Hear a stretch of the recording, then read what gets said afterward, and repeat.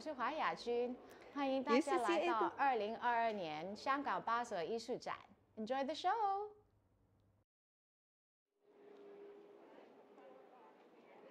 show！UCCA 的朋友们，大家好！欢迎今天大家来到巴塞尔艺术展香港展的线上导览。我是 Angel，呃，巴塞尔艺术展中呃大中华地区总监。呃，很可惜今天不能呃亲自把大家请到实体展览来参观。呃，但是我们精心策划了这一次呃线上导览。呃，今天的主题呢，我们呃为大家准备的是呃威尼斯双年展。呃，如果还没有能亲自去到威尼斯双年展的朋友们呢，今天可以通过我们呃这个巴塞尔的线上导览来看一看呃威尼斯今天呃今年都展出了什么样子的呃艺术家呢？呃，今天我给大家选呃挑选了六站，呃，其中第一站呢，我们就来到了这个呃卡马马诺，就是呃巴黎的一个艺术呃艺术呃艺术馆。然后今天我还请到了贝利，这是他们呃亚洲的呃负责人，呃来给我们讲解一下他们展他们呃他们的展览里面有的呃双年展的艺术家。Hi Angel，你好，啊，大家好。那这里是王贝利，那我代表呢巴黎的呃卡麦勒梅隆画梅隆赫画廊跟大家这个 say 个 hi，这样子。那我们这次在香港巴塞尔呢也带了呃二十四件艺术品。那这次呢我着重介绍几件在威尼斯那有参加威尼斯双年展的艺术家。那这一件镜子呢 Mirror。就是著名大名鼎鼎的安妮施卡普尔的作品。那他呢，两千一九年的时候，曾经在北京的中央美院和太庙做过他的个展，大型个展。这位艺术家呢，都是以大型的极简主义的装置而闻名。那他的这个 Mirror 系列呢，是属于比较可以、比较方便于私人厂家收藏的作品的。它的这个面貌呢，也都相当的简单，呃，看起来基本上就是一个很简单的镜子。但是当你走近的时候呢，你的整个人就会有一个很强烈的这个眩晕感。它因为这个凸镜的这样一个视觉效果呢，就会让你产生很强烈的幻觉，而且听觉上也会有一些改变。所以它是通过这种特别简单的作品呢，让你思考这个虚与实啊，还有就是你还要与你身边的这个自然之间的一个关系。所以它这种大道至简的做法呢，也是就是极简主义里面特别高级的一个做法啊。对，好。那接下来我们再来看我们画廊的另外一位呃特别重要的极简主义艺术家。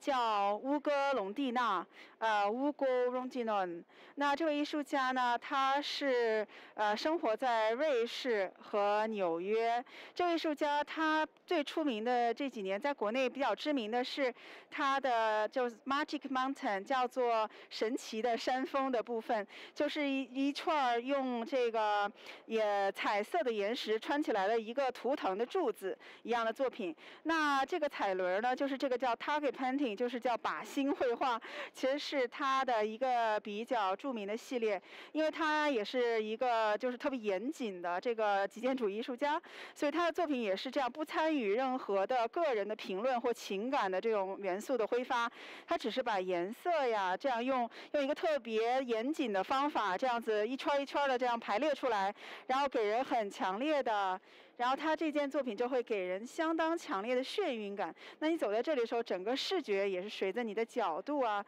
好像是被，好像是被，就是感觉像是吸进去了一样。所以它是一件，就是非常，就是视觉感觉是非常强烈的一件作品，这样子的。对。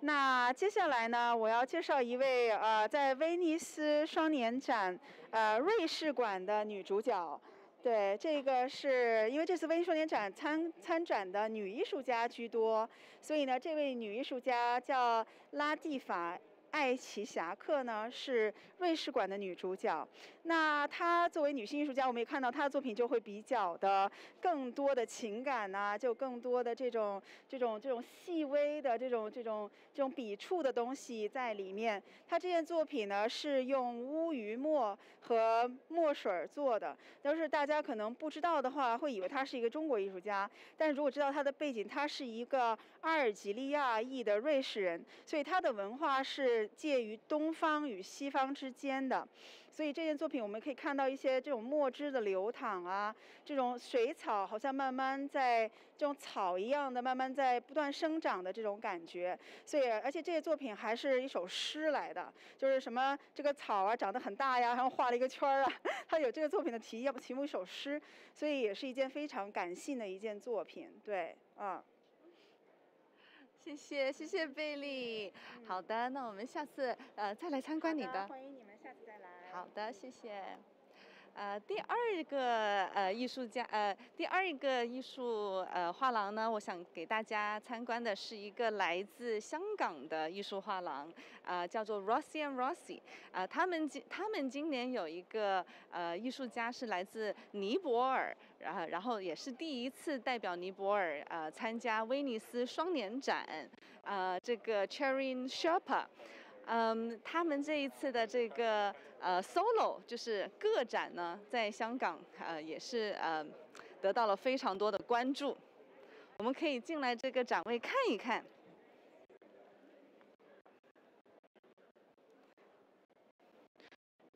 Sherpa 的这个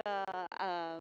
，Sherpa 他的父亲本身就是画唐卡的艺术家，然后他从小呢也是跟父亲学习呃画这个唐卡，然后去了那个呃台湾学习，读书了以后呢回到台湾，然后继续呃在呃尼泊尔呃的庙宇庙庙宇里面呃跟我们呃就是呃帮助他的父亲一一起绘画，然后因为唐卡在在近年以来呢，呃，被大量的生产，呃，所以他现在就是他的绘画，呃，就结合了很多当代的这个呃这个 element 这个因素在里面。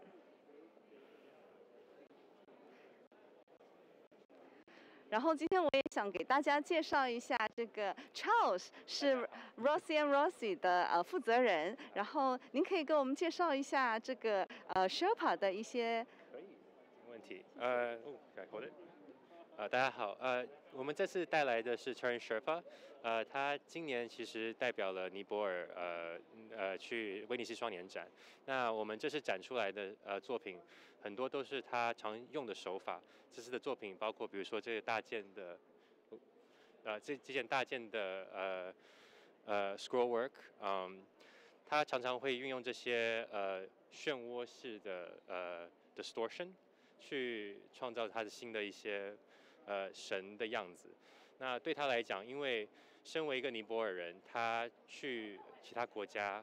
呃的时候，其实看到其他人对尼泊尔的想法。跟看法都是并不是真实的。他认为很多这些看法其实都是被像这个漩涡一样被呃变变呃变变呃被变换的，对，所以他就是呃把这样子的作品给画了出来。呃，在这边呢可以看到就是他做这个转换的形式，从那边第一件作品到这边，看到他的那个漩涡式的呃去的那个这个转换的手法。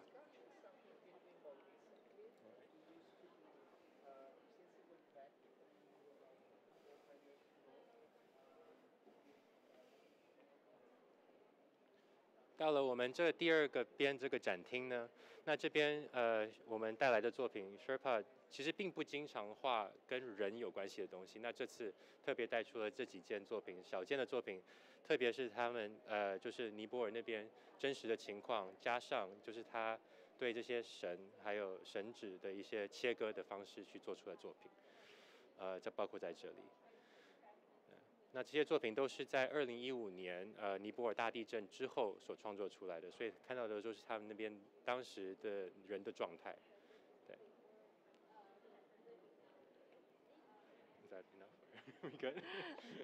谢谢? Charles，谢谢。呃，这个 Rossi and Rossi 呢，他们呃在二零一三年来到香港的时候呢，就带就带来了 Sherpa 的一个个展，对吧？？啊对做巴塞尔的时候就带了他，然后所以九年之后又再把他带回来，这是他经过了很多不一样的转变，对，所以希望大家喜欢。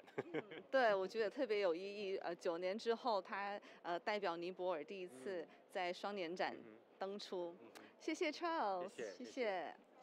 好，我们下下面呃去另外一家呃香港的也是比较有代表性的画廊，呃次点画廊。呃，这一次呃香港巴塞尔艺术展呢，有一百三十家呃画廊，呃跟去年相比呢，其实我们是呃多了大概呃三十家画廊，就是百分之三三十，呃然后占占地面积也呃增长了百分之五十，呃其实我们都很感激，在这个呃疫情之下呢，就是画廊它还是呃非常的支持呃我们这个事业，然后也呃香港的这个呃艺术圈也是非常的呃继续非常的火热。呃，现在我们来到了这个香港的次点 Blind Spot 呃画廊，呃，然后它有一个呃非常非常经典的一个呃年轻艺术家徐世奇 Angela 徐，呃，今年也代表了香港馆来到了香呃威尼斯的双年展，呃，我我就。嗯，不好意思，请咪咪跟我们呃讲解一下这个呃徐世奇呃在 Blind Spot 的这个作品，谢谢。好的，好的，呃，要呃，我们要不要过去作品那边？嗯，大家好，呃，我是咪咪，我是次点画廊的总监。呃，我们面前的这一幅作品是是徐世奇的呃最近的作品，它是一个呃头发的刺绣。呃，头发刺绣。那呃，徐世奇其实是读念呃科学的，所以他的作品也是以医学史为基础。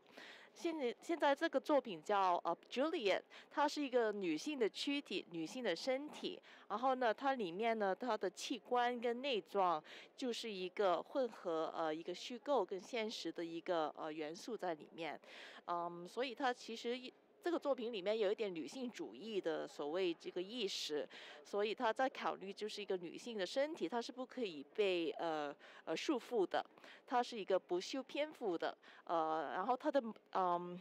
我们可以近过过来近一点去看，她的头发其实都很浓密、很茂盛，那就是代表就是一个很有生命力的躯体，然后他在考虑这个躯体，其实它是一个很呃一是个体，很有自由度的，然后。嗯，他也在想，就是那个刺绣其实是是一种非常的传统的手工艺，但是它是非常的女性化，非常的温和。但是另外一方面，他也在考虑，呃，很多历史上有很多表演的行为，很多呃抗争的人也是用头发把自己的身体部位缝合在一起，来作为一种比较激进的一个抗议的行为。所以里面带有了两种很就是很对立的意识。谢谢。然后咪咪可以跟我们也讲解一下，就是香港呃香港馆在那个威尼斯今年这个呃馆展是怎么样子的吗？我相信很多观众可能还没有机会亲自去看见。嗯，好啊。呃，今年呃徐世奇 Angela 在威尼斯的展览是呃一个呃。融合他的呃绘画跟呃头发刺绣，就好像我面前这一种这种类型的作品，呃跟装置，然后一个所我们所谓一个 centerpiece，呃一个最重要的最大的作品是一个呃一个录像，是一个呃呃呃呃 video work。然后呃，整个展览的主题就是 levitation 悬浮。他在考虑我们现在呃的社会状态，呃世界的状态，我们要需要以一个怎样的想法，一个需要一个嗯。怎么说？我们需要一点幻想力去处理我们面前呃的的局面。然后大家想，我们呃就是 levitation 就是一个你跟可能跟现实不一定很贴合的一个状态。我们又如何去考虑这种可能性、不同的可能性，去面对我们面前的问题？这样子，嗯。非常感谢，谢谢咪咪。好，谢那我下次再来，拜拜。然后我们现在呢，呃，接下来的这三个画廊，呃，其实是我们卫星展位上的画廊。呃，今年我们一百三十家呃艺术画廊中间呢，其中有七十六家就是这些卫星画廊。所谓卫星画廊，就是他们嗯。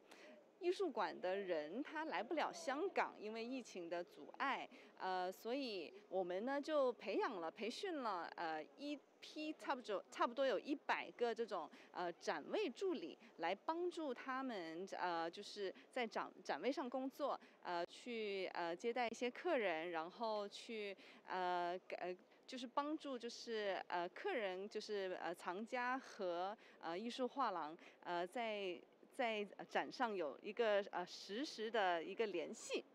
呃，然后今天我给大家选的在呃这个第一个卫星画廊呢叫做 Kujet，它是呃从呃首尔来的画廊，呃，然后他们也带了他们也带来了一个呃双年展比较有代表性的一个呃艺术家，这个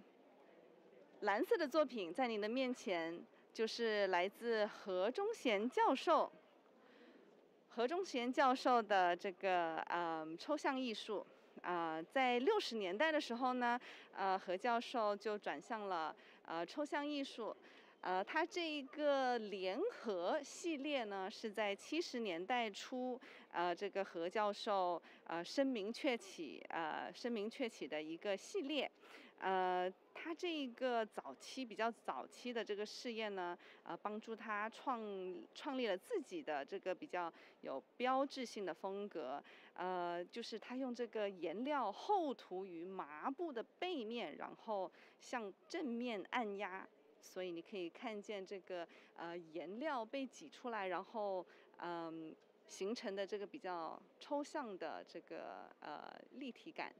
呃，他这个何何教授呢，也是单色画呃运动里的非常重要的成员。他对材料和绘画工艺的创新，在东西方前卫艺术呃和那个呃传统之间，都是呃起到了一个桥梁的作用的。然后下面一家卫星画廊呢，是呃。是一个来自德国的画廊，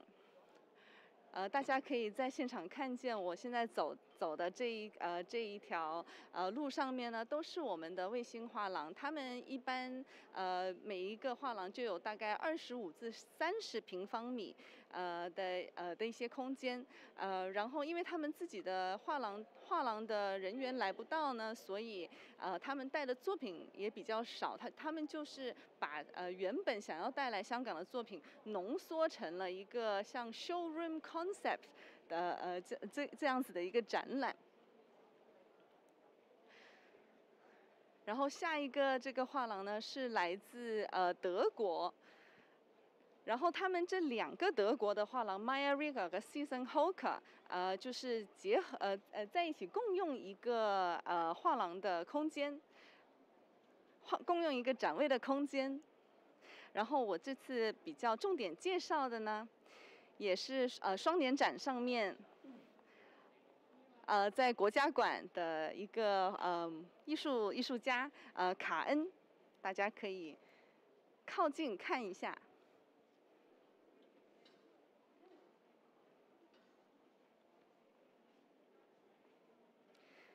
这是一个瑞士的艺术家，啊，呃，Miriam Kand，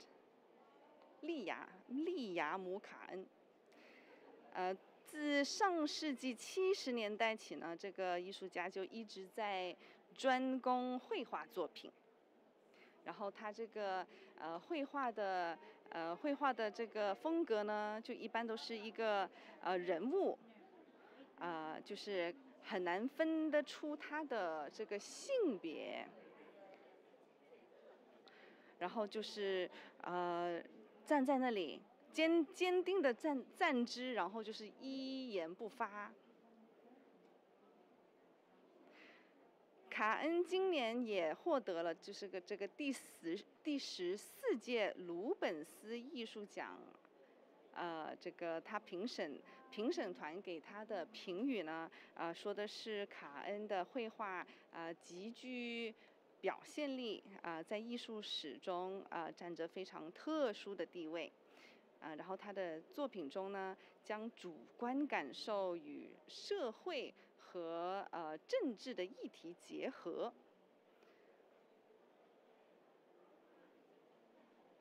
就是看上去比较诡异，但是啊意义就是非常深重的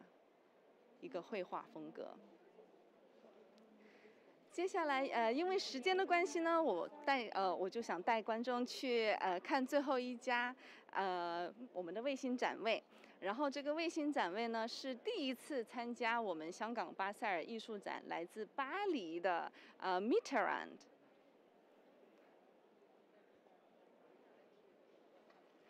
然后其中我给大家选的这个 m i t e r a n 的嗯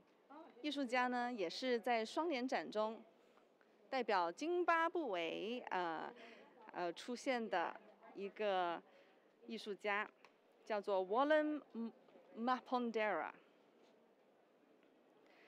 呃，这个来自津巴布韦的艺术家呢，呃，经常会喜欢用这个呃习惯用于这个呃。呃，found objects 就比如说呃纸箱呀、纸皮呀，啊，然后在这一件呃特别的那个艺术品上面还用到了军用的帐篷，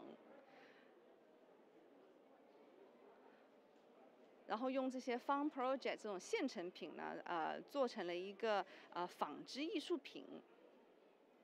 然后这个艺术家呃以这件艺术品。呃的创作介入社会事件啊，然后他的创作呃使他的创作更加